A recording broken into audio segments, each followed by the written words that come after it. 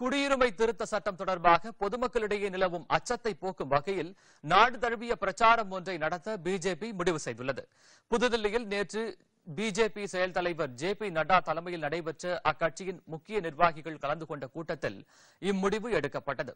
இந்த கூட்டத்திற்கு பின்னர் செய்தியாளர்களிடம் பேசிய பிஜேபி பொதுச் செயலாளர் பூபேந்திர யாதவ் அடுத்த பத்து நாட்கள் இந்த பிரச்சாரம் நடைபெறும் என்றும் மூன்று கோடி குடும்பங்களை சந்தித்து குடியுரிமை திருத்த சட்டம் தொடர்பாக விளக்கவிருப்பதாகவும் அவர் கூறினார். இந்த சட்டம் தொடர்பாக நாட்டு மக்களை எதிர்க்கட்சிகள் தவறாக வழிநடத்துவதாகவும் எதிர்க்கட்சிகளை அம்பலப்படுத்தும் வகையில் இந்த பிரச்சாரம் அமையும் என்றும் அவர் தெரிவித்தார். ஒவ்வொரு மாவட்டத்திலும் குடியுரிமை திருத்த சட்டத்தை ஆதரித்து பேரணி நடத்தப்படும் என்றும் இருநூற்றி ஐம்பதுக்கும் மேற்பட்ட இடங்களில் செய்தியாளர் சந்திப்பு நடத்தப்படும் என்றும் அவர் மேலும் தெரிவித்தாா் குடியுரிமை திருத்த சட்டம் தொடர்பாக எதிர்க்கட்சிகள் குறிப்பாக காங்கிரஸ் தவறான தகவல்களை பரப்புவதாகவும் அவர் குற்றம் சாட்டினார்.